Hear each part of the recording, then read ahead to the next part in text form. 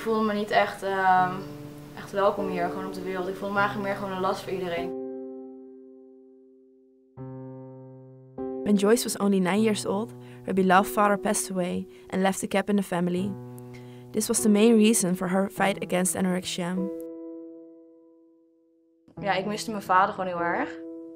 Dus uh, ja, ik ging ook altijd vaak naar, mijn, naar het graf van mijn vader. En uh, ja, ik, ik weet niet. Ik, elke ons die er op een gegeven moment afging, dat was gewoon zoiets van, nou, een stap dichter toen naar mijn vader. En ja, op een gegeven moment dan ben je zo gefocust op één ding. En dat is afvallen en controle hebben. Dat je gewoon, ja, de buitenwereld, dat doet je niets meer. En je geeft eigenlijk nergens om. Want je hebt gewoon, ik had gewoon heel erg het gevoel um, dat niemand me mocht. Dat ik gewoon waardeloos was. En dat ik gewoon beter af was als ik gewoon niet hier was. En uh, ja, dat gaf me gewoon heel erg het gevoel te moeten kiezen tussen mijn moeder en tussen mijn vader. En dat ik dus eigenlijk liever naar mijn vader wilde.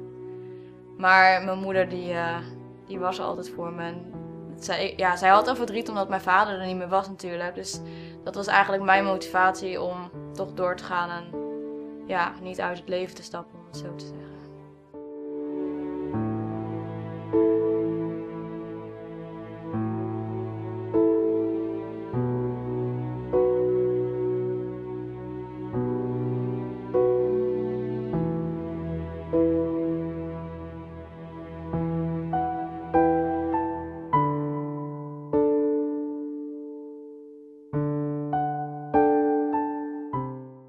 Vanaf kleins af aan uh, schreef ik eigenlijk al. Vooral uh, toen mijn vader ziek was heb ik heel veel geschreven. Gewoon om, uh, om later terug te kunnen blikken op die tijd.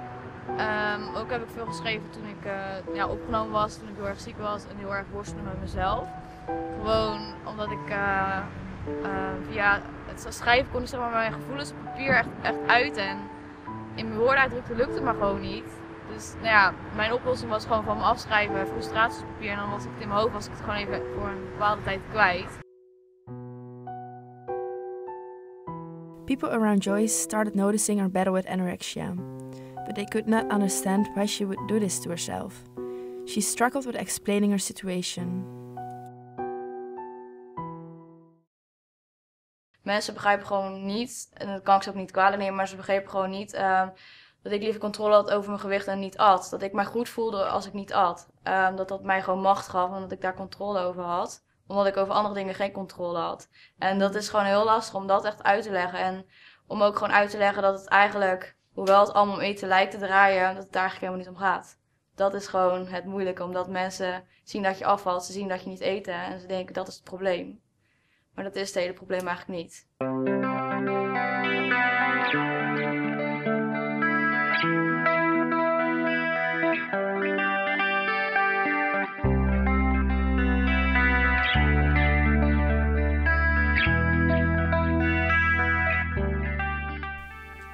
Through the years, Joyce found a way to cope with this disease. She made the agreement that she would go to New York if she reached a healthy weight. Last summer, she accomplished this goal and went to New York. A few years ago, she didn't want to see herself healthy, as she has gotten comfortable with being anorexic. However, she realized that it is not the right way to go and decided to improve her lifestyle.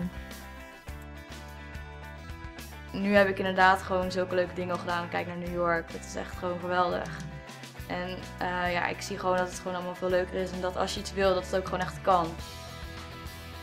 Nee, ik ben niet echt meer bang voor de toekomst, alleen ik wil heel graag controle hebben.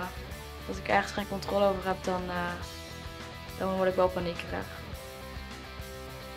Ik ga eigenlijk niets meer uit de weg.